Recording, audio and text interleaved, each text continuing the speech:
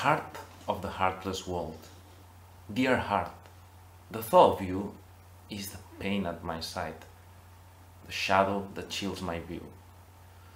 The wind rises in the evening, reminds me the autumn is near. I'm afraid to lose you, I'm afraid of my fear.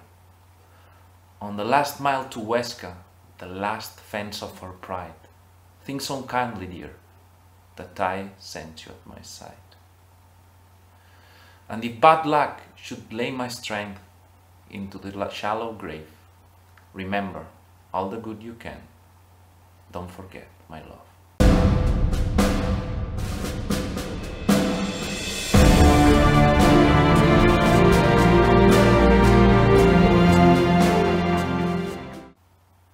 Good morning, I'm Pep and this is the Spanish Civil War. In this channel and for the next three years, we will follow week by week the Spanish Civil War, its battles and the Holocaust that it provoked. Last week we saw how, even with some Christmas truces, the fighting in the fields of Spain continued. In the south, Queipo advanced towards the north. Meanwhile, the Republic tried to stop his advance, launching a counterattack against Lopera that claimed hundreds of Spanish and British lives. We've also seen the end of the strategic Republican offensive for the capture of Vitoria that resulted in a daunting defeat and the beginning of yet another Republican offensive, this one aimed to capture Teruel. This week, we'll talk about yet another nationalist attempt to seize the A Coruña road, securing the left flank of their troops situated in the Casa de Campo. But, as it will take place at the end of the week, we'll start with the Aceituna campaign, with the ongoing Battle of Lopera. Yes, ongoing, because after last Sunday's assault, some nationalist forces departed for Porcuna, and Walter's battered battalions made another attempt to seize the village. The ground ended up again filled with piles of internationals' bodies. On Sunday, it was the writer Ralph Fox.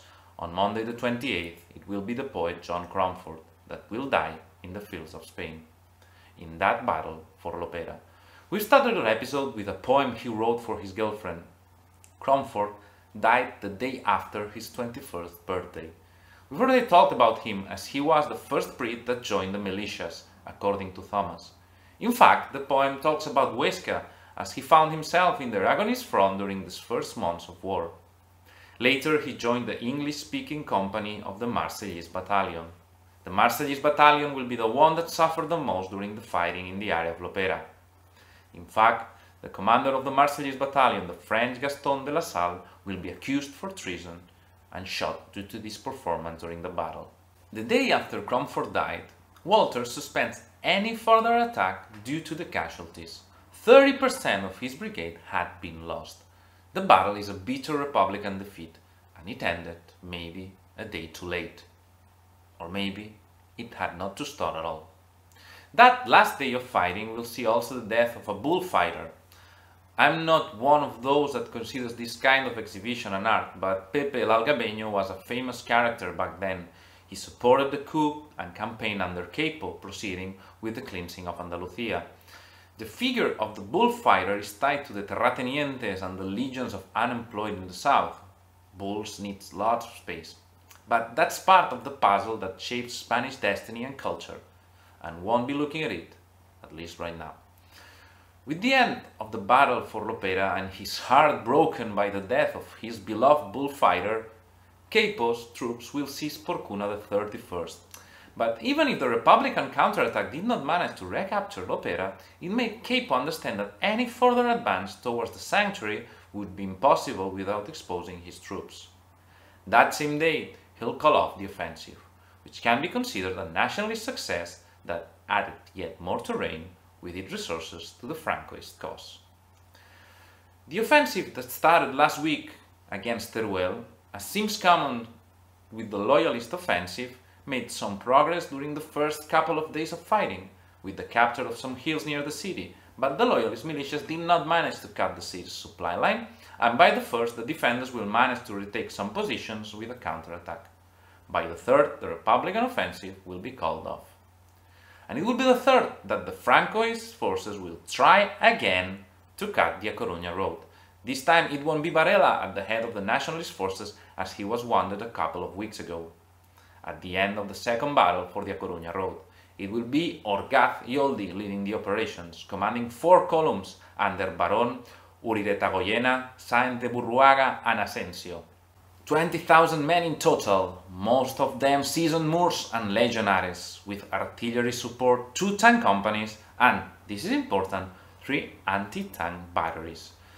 This time the Francoists had more resources than before. Their plan was to attack towards the A Coruña road from Villanueva de la Cañada, and as soon as they reached the road they had to turn east towards Las Rozas and Majadahonda in order to cut Madrid from the north.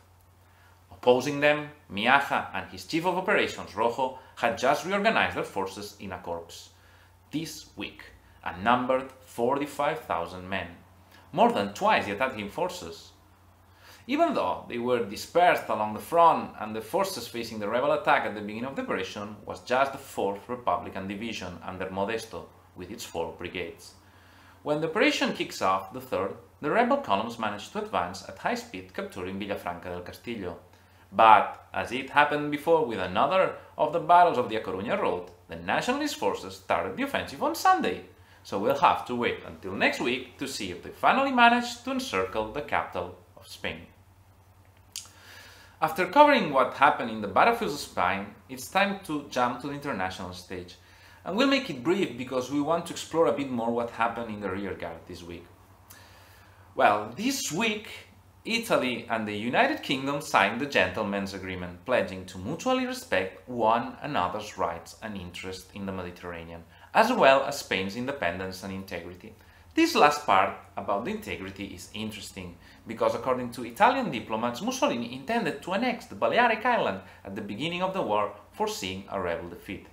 Even though that was long ago, and Mussolini right now will continue his investment in Franco's cause. This week another 3,000 volunteers and 1,200 specialists will be sent to Spain. Maybe state-paid holidays? Well, in the USSR, 17 pilots will be proclaimed heroes of the Soviet Union after their state-paid holidays in Spain. In the rearguard, this new year 1937 will be known in the nationalist side as Triumphal Year, and in the Republican side, Year of the Victory even though I think the Republicans needed to be more realistic. Back in August, the area of the rebels' control produced just one-third of the Spanish taxes. But now, by the end of December, with the terrain they've taken from the Republican hands, they've reached two-fifths. And their economy was healthier than the Republican one. Their peseta was being printed in Germany with any gold to back up, and had twice the value in the international market than the Republican one. But maybe Franco's biggest achievement was unity. We already mentioned in the previous episode the rising tensions between the factions that composed the Republic. According to Thomas, by the end of 1936 and the beginning of the 1937, the Republic and Spain was only united in the pages of international press. The communists, with the prestige given by their defense of the bourgeois state and their weapons, were gaining ground against the socialists. In the military, lots of officers, among them Pozas, chief of the Army of the Center, joined their ranks. The anarchists were divided between the ones that supported their entrance into the parliament and the ones that opposed it. Largo Caballero, the premier, was under pressure to proceed with the unification between socialists and communists, even though Stalin did not agree with this and would give specific orders next week against this unification and in order to strengthen the unity of action of the Popular Front. In Catalonia, Esquerra, the main party, supported the communists, and the central government in matters of rear gas safety and industrial management, but was not to agree with them in terms of the centralization of the war effort. The PSUC started to move against the anarchist revolutionary committees and also against the POUM, that, even if said so by the communists, was not a Trotskyist party. Andreu Nin, POUM's leader, broke with Trotsky when the POUM entered the Catalan government, so the accusations of Trotskyism had no grounds. They were just revolutionary communists that did not obey the orders from Moscow, and that was not acceptable. And among these cows, the anarchist and communist presses were at each other's throats. And again, the economy.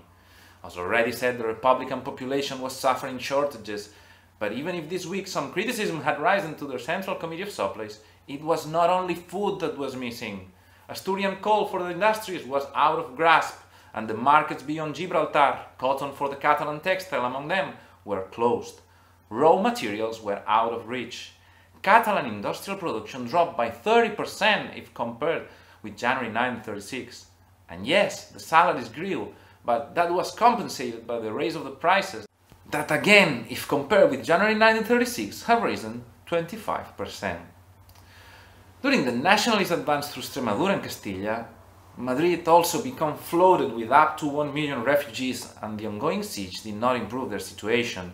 By December, more than 300,000 civilians had been evacuated towards the rearguard, towards the Levant and Catalonia, but it was not enough to improve Madrid's dire situation. You want more? There were also the regional divisions, the Basque that opposed any kind of military unification, as the Catalans, and Madrid. Yes, the junta was continuously challenging the power of Valencia's central government.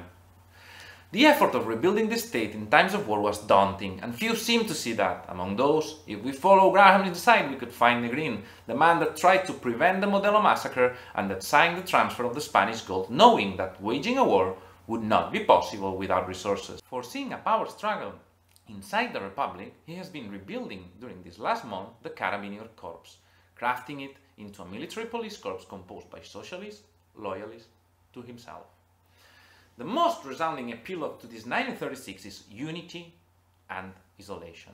The unity achieved by the rebel side that started to cut its malicious aspirations in opposition to the political and regional disunion in the Republican side. That, even if understandable, has been costly for the Republic. And I would like that you link this memory to the idea of isolationism during the first and maybe more crucial moments of the war, just after the coup, the legitimate government of Spain became isolated.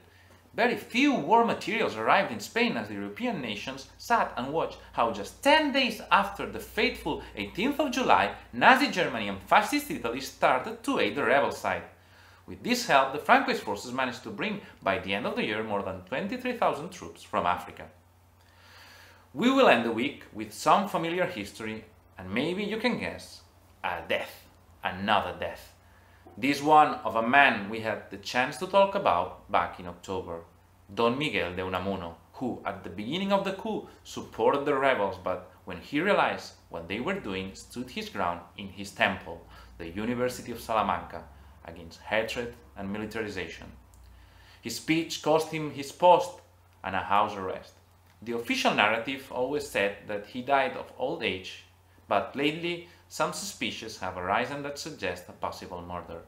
A documentary saw light in 2020 that tried to unveil the mysteries surrounding Unamuno's death. Regarding the familiar history, exactly one month ago, the 3rd of December 1936, the Terç of Requetés de Nostra Senyora de Montserrat, a Catalan Carlist unit, was created in Pamplona.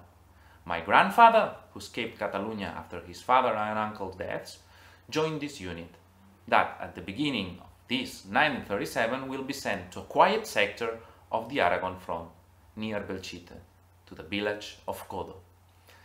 As it was the unit that had the highest death toll in the whole nationalist army, we'll have the chance to talk about it. And with this small family history, we end the week. With most of our battles ending, but with another battle for the A Coruña road that starts. We'll see next week how it develops. Please don't forget to like the video and subscribe. If you enjoyed it, share it. We have to bring light to the history of Spain. If you're able to support us in our Patreon channel like these heroes already did, or offer us a coffee, this would also be great and would help us to carry on and improve the project. Let's make this possible together. Thanks for your attention, goodbye, and salute.